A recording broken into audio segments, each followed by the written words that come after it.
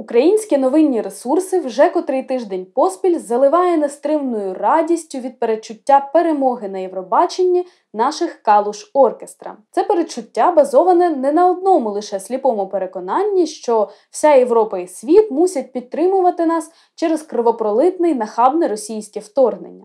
Про це свідчать також букмекерські прогнози, згідно з якими імовірність нашої перемоги цілих 45%. У другого місця Італії всього 13%. Проте, чи означає це, що вже можна розслабити булки і святкувати перемогу? Оскільки наш канал, можна сказати, почався з Євробачення і торішніх успіхів Гоей у Роттердамі, ми вирішили, що не можемо пройти повз і тепер. Торік про найгучніший міжнародний пісенний конкурс говорив Богдан. Тому зараз настала моя черга проаналізувати, що пророкують Україні букмекери та опитування. Хто ж ці виконавці, які цьогоріч можуть позмагатися з калуш оркестра? Скажу також пару слів про те, чи насправді Євробачення таке вже аполітичне, як себе позиціонує. А наостанок поговоримо про власне номер калуш оркестра і про те, чи російсько-українська війна це єдиний фактор таких високих очікувань від наших конкурсантів.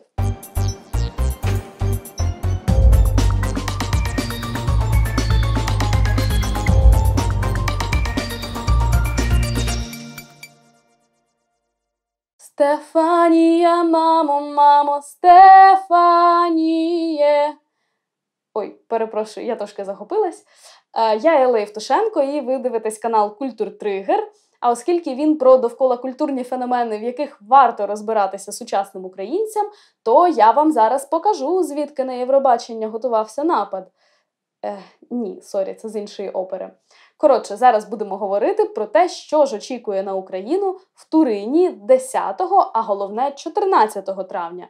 Бо я навіть не сумніваюся, що Україна пройде в фінал. Чи може ви сумніваєтесь? То чого ж ви мовчите? Пишіть бігенько в коментарі. Пишіть також, чи подобається вам наш цьогорічний кандидат. Чи може вам була більше до душі Аліна Паш, яка виступала в Росії і в Криму? М? А перед цим не забудьте поставити цьому відео лайк і підписатися на наш канал, бо нам від цього дуже приємно. Також ми закликаємо вас допомагати нашій армії. Для цього ми лишаємо координати фонду Повернись живим в описі під цим відео. А якщо ви раптом хочете подякувати особисто нам, то було б дуже круто побачити вас серед наших патронів. Лінк також в тому ж описі. Отже, 45% шансів на перемогу. Саме стільки дають нам букмекери цього року. Букмекерські ставки доволі точне джерело передбачень. Наприклад, минулого року справдились їхні прогнози щодо італійців 26%. На перемогу нідерландців 2019 року шанси були аж 51%. Вгадали і зі Швецією 2015 року. Разом із тим, букмекери не оракули і часто помиляються. 2018 року вони промахнулись, передбачивши Ізраїлю не перше, а друге місце, так само, як і переможцю 2017 року Португалії. А 2016-го взагалі вийшов конфуз. Усе вказувало на перемогу Лазарєва. Тим часом, як на Джамалу, ставки були не надто оптимістичні, а все ж її потужна пісня 1944 стала фурором. Добрий вечір, ми з України. Вочевидь, цього року помилку враховано, і згідно з букмекерськими ставками, шанси калуш оркестра на перемогу захмарні. Утім, за результатами опитування 4400 членів Асоціації фанатів Євробачення ОГАЕ, Україна опинилась аж на 11-му місці. Трохи оптимістичніше, четверте місце нам передбачає онлайн-опитування на сайті Eurovision World. Нехтувати ним не варто, адже за рахунок, мабуть, великої вибірки, кількасот тисяч респондентів, воно точно визначало переможця 2015 по 2021 рік. Окрім 2016-го, і тоді онлайн-респонденти знову таки недооцінили Україну. Нам пророкували срібло, а Джамала взагалі виграла. Може, десь так фанати недооцінюють і нас тепер, передбачаючи лише четверте місце. Про те, що результат конкурсу зовсім не визначено наперед, каже і Дін Вулетич, історик і спеціаліст із геополітики Євробачення. Аудиторія демонструє сильну підтримку України, але це ще не означає, що Україна точно переможе. У 1993-му Боснія і Хорватія не посіли високих позицій, попри те, що на них напали. Український номер сильний, але є й інші якісні номери. Що ж це за інші якісні номери, достойні скласти конкуренцію нашому калушу і вибороти собі перемогу на цьогорічному Євробаченні? Основних конкурентів вимальовується троє: Швеція, Італія та Іспанія. Про це свідчать і букмекерські ставки, і вже згадані опитування. Від Швеції Корнелія Джейкобс із простою, але приємною і мелодійною піснею Hold Me Closer, написаною, за словами артистки, під час дуже болісного розриву. Перша її половина це лірична і спокійна балада, коли на сцені темно і вся увага прикута до співачки в блискучій кофтинці. А потім починається двіж у басах, який виливається в упевнений мажорний приспів. Взагалі, як на мене, співати про свій біль у мажорі це дуже потужний прийом. Цікавий тембр голосу, щирість і особиста історія, яка стоїть за цією піснею, сценографія, в якій немає нічого, крім самої артистки і її голосу. Все це доволі впізнаваний, але цілком перспективний типаж для Євробачення. Виконавиця була абсолютною фавориткою шведського нацвідбору Мелоді Фестивален. А тепер її пісня з теплими ламповими синтами має всі шанси вибороти призове місце в Турині. Так, ні в пісні, ні в самому виступі немає нічого новаторського, але на Євробаченні, власне, часто і цінується щось таке добре знайоме і потужне водночас, взяти хоча б торішніх переможців італійців Манескін. До речі, про італійців. Господарі цьогорічного конкурсу теж серед лідерів, як у букмекерських топах, так і у фанатських опитуваннях. Країну представляє дует Махмуд і Бланко із піснею Брівіді, тобто тремтіння або мурашки. Скажу чесно, з музичної точки зору особисто я не вражена. Я вважаю такі пісні надто прісними і нудними. Але ж ми знаємо, що коли йдеться про Євробачення, сама пісня це ще не все. А за виступом італійського дуету стоїть дуже важливий посил. Так, якщо хтось ще не зрозумів, це пісня про кохання між двома чоловіками. Але не тільки. Як говорять самі виконавці, Брівіді про свободу самовираження і про неспроможність часом виразити свої суперскладні емоції. Це, так би мовити, легітимація того факту, що чоловікам у наш час нарешті можна бути вразливими і відвертими, а маскулінність вже не вимірюється рівнем брутальності. Варто також згадати, що Махмуд уже виступав на Євробаченні 2019 року і посів друге місце. А цьогорічна пісня набрала в Італії якусь захмарну кількість прослуховувань на Spotify і побила в цьому всі національні рекорди. Враховуючи все це, італійці цілком претендують, якщо не на перемогу, то на місце у п'ятірці так точно. Іспанія. М-м, знаєте, на кожному Євробаченні є з десяток пісень із таким ритмом і там ще зазвичай є такі прості впізнавані слова, типу сеньора і сеньорі, бум-бум, зум-зум. Зазвичай її ще співає така фігуриста дівчина з розкішною гривою волосся в купальнику і лосинах, а біля неї танцює ще кілька дівчат у трусах. Ну, от це одна з таких пісень. Теж така собі класика Євробачення. Пісня Slow Mo написана на так званому спангліші англо-іспанському суржику, і здається, що не потрібно знати жодну з цих мов, щоб зрозуміти її нехитрий посил. Його, мабуть, можна сконцентрувати в таких рядках. Щойно роблю дум-дум своєю бум-бум, як всі вони, тобто папіки, зразу зум-зум за моїм смаколиком. Але не поспішайте презирливо кривитись або гучно обурюватись, бо, за словами самої співачки Шанель Терреро, її пісня про впевненість у собі, комфортні стосунки зі своїм тілом, мовляв, надягай корону і тверкай, як востаннє в житті. Ви зрозуміли? Не об'єктивація жіночого тіла, а body positive і утвердження прав жінок. Не переплутайте, будь ласка, поки залипатимете на її boom-boom. Між іншим, після перемоги Шанель у нацвідборі сербська співачка Дара Бубамара звинуватила кубино-іспанку в плагіаті свого сингла екстравагантно.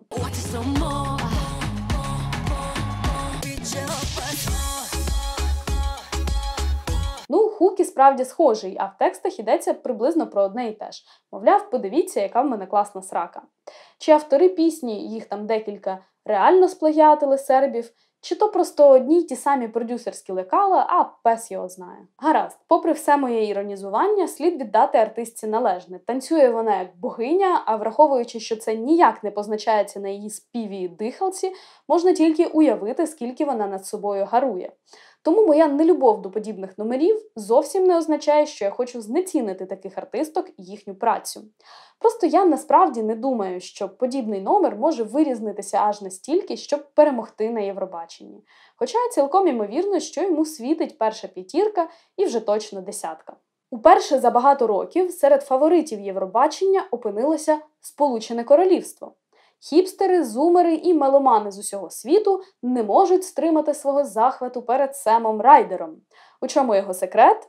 Високий потужний голос, яким він чудово володіє, довжелезне біляве волосся, яким можна робити отак, і Тік-Ток. Сем Райдер зірка Тіктоку, найпопулярніший британський співак на платформі, який зібрав 12 мільйонів підписників і неймовірні 100 мільйонів лайків.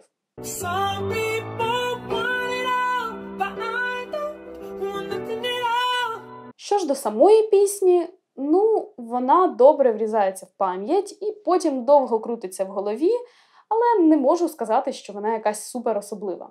Хоча її співавторкою була Емі Водж, володарка премії Греммі 2016 за найкращу пісню року. Трохи вінтажу, трохи ностальгічно-хіпстерських мрій про те, щоб стати космонавтом. Сем Райдер обіцяє не підвести свою батьківщину і заспівати на всю голову. Але чи вистачить його космічного фальцету і розкішного хаєра для перемоги? Ой, не знаю. Хто є серед інших претендентів на місце в десятці? Приємні, гарні, але доволі прохідні балади від Греції та Нідерландів, легеньке загравання з фольком від Португалії, класичне туц-туц у дурацьких масках від Норвегії, потужний оперний вокал від Польщі. До речі, в опитуванні Огає українські фанати віддали перше місце саме йому, мабуть, на знак подяки сусідам за допомогу в цій війні. Прикольна, але музично непримітна постановка від Сербії. Гадайте, чиї фанати віддали перше місце їй, а також французько-бретонська пісня від французів, які цього року вирішили закосити під Go A. Як на мене, вийшло в них класно. Між іншим, мабуть, ви вже знаєте, але Росію з конкурсу виключили вже на другий день війни.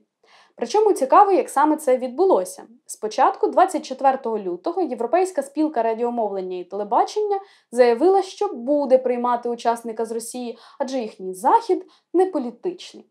Тоді одразу декілька мовників з різних країн-учасниць гарненько насипали їй за комір, і організатори миттю зрозуміли, що їхня позірна політичність не зобов'язує їх їсти лайно. Тоді наступного дня спілка оголосила про виключення рашки, підкресливши, що у світлі безпрецедентної кризи в Україні виступ Росії на цьогорічному конкурсі зіпсує репутацію Євробачення.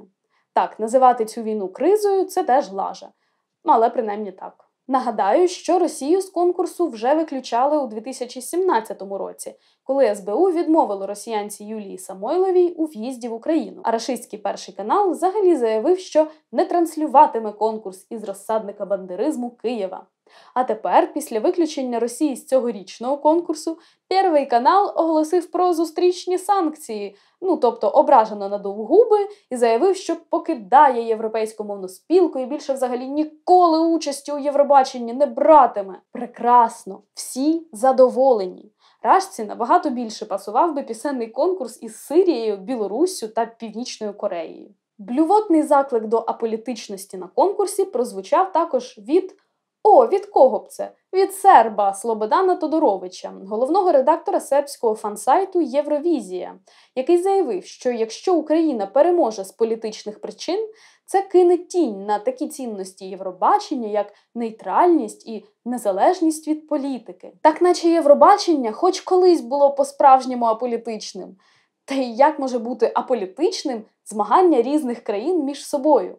Будьмо відвертими, на голосування як журі, так і глядачів часто впливають не музичні вподобання, а те, хто з ким дружить на геополітичній арені. Від самого свого заснування 1956 року Євробачення це потужний інструмент культурної дипломатії, і війни та конфлікти просто не можуть не відбиватися на конкурсі. Скажімо, Вірменія відмовилася від участі в конкурсі, який проходив в Азербайджані. А в 2009 році Грузії не дозволили представити пісню під двозначною назвою We Don't Wanna Putin і попросили змінити текст. На що Грузія взагалі зняла свою кандидатуру, тим паче, що тоді конкурс проходив у Росії, і після війни 2008 року для Сакартвело було абсолютно логічним взагалі бойкотувати ці змагання. Тож розрізнити, з яких саме причин виграє Україна, політичних чи суто мистецьких, нереально. Адже не запропонує же кожній країні уточнювати, ставить вона оцінку, бо просто співчуває нам, чи тому, що їй справді сподобався калуш. Тим паче політичні мотиви можуть трішечки гойднути ваги на нашу користь, але лише за умови сильного виступу. Адже за нудний прохідний номер людей не змусить голосувати жодна війна. І я думаю, що саме в цьому поєднанні секрет аномально оптимістичних прогнозів букмекерів. Адже калуш оркестра просто розриває. Можете називати мене упередженою. Я справді дуже люблю калуш і любила його ще задовго до нацвідбору. Але розриває то він не тільки мене. Повірте, я подивилася чимало реакцій. Ukraine has done it again. Як на мене, Стефанію не порівняти з безсмертними хітами типу Мене не маринуйте, але в цьому номері поєдналося кілька факторів, чия сума обіцяє Україні чудовий результат у Турині. По-перше, фольк. Я не буду повторювати затерті фрази зі шкільних підручників про душу народу і скарбницю духовності, і бла бла бла. Але мені здається, що ми, українці, і справді підтримуємо особливий зв'язок зі своєю народною музикою. Ймовірно, тому що питомо українська академічна культура розвивалася в несприятливих умовах імперського і совєтського гніту. А от фольк, хоч його і намагалися шароварити за совка, дихав вільніше і водночас ніс важливі та актуальні для нашої нації коди. І те, як ми ніжно та водночас серйозно, зовсім не поблажливо ставимося до своєї народної музики, бачать і іноземці. Між іншим, в одній з реакцій таки прозвучало слово духовність. It's very spiritual. По-друге, репчик псюка. Щойно закінчується приспів, і псюк починає торохкотіти як кулемет, даруйте за злободенне порівняння. В іноземців натурально відпадає щелепа. Він подобається навіть тим, хто загалом не дуже любить реп. I'm not a huge rap music lover, I have to admit, at first I was not into the rap. but when it's done so well like this, I can't imagine the song without it. І навіть іще більше всіх підкупає власне поєднання репу і фольку, так само як торік усіх розірвав Гоей своїм поєднанням фольку та електроніки. Усі так і кажуть: Україна в цьому спец. rap and Slavic ethnic elements. Match made in heaven. По-третє, якщо фольковий приспів і реповий куплет переконує не всіх, то щойно в гру вступає Діденчук і його флейта, сумнівів ні в кого не залишається.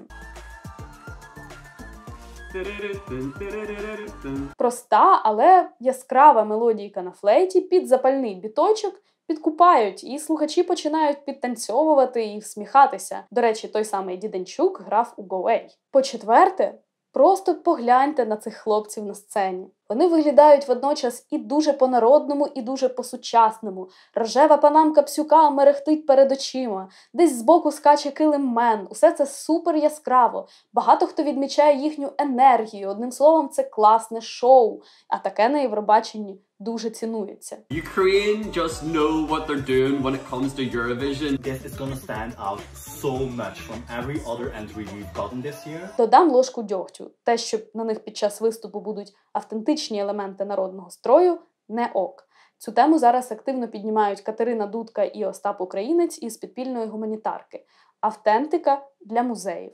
Є сучасні майстри, які роблять дуже круті репліки, тож чи не краще піарити їх. Наостанок варто сказати пару слів про головну тему цієї пісні. Ну, не конкретно про маму псюка, а про те, що присвята матері, звернення до колискової це, по-перше, сильний і зрозумілий посил. Він ані трохи не контроверсійний. Ну, типу, хто може бути проти пісні про маму? А по-друге, у контексті російської агресії проти України він читається як ностальгія за безтурботним дитинством і прагнення захисту та безпеки, тобто звучить дуже актуально і при цьому не порушує буцімто аполітичності конкурсу, що закидали Джамалі після перемоги з піснею про злочини Совка проти кримських татар.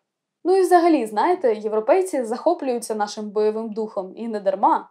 У кого є знайомі іноземці, скажіть, хіба вам не доводилося хоч раз когось із них заспокоювати, бо вони сильно за нас переживають? А наші такі гей, зараз дороздаю волонтерку і приїде до вас у Турин репчик читати. Ну, правда, один наш музикант у ЗСУ зараз, ну але сорян. Тому, наприклад, експерт, якого я вже згадувала, Дін Вулетич, Каже, що те, що Калуш у принципі змогли приїхати, щоб виступити на конкурсі, це вже успіх. Ну, але залишімо принцип головне участь, а не перемога рашистській армії, а самі все-таки сподіваємося на достойну оцінку України на цьогорічному Євробаченні, як від суддів, так і від глядачів. А який ваш прогноз? Переможе все-таки Україна чи ні? А якщо ні, то хто, по-вашому, зможе перегнати Калуш оркестра? Пишіть у коментарі, дуже цікаво обговорити це з вами.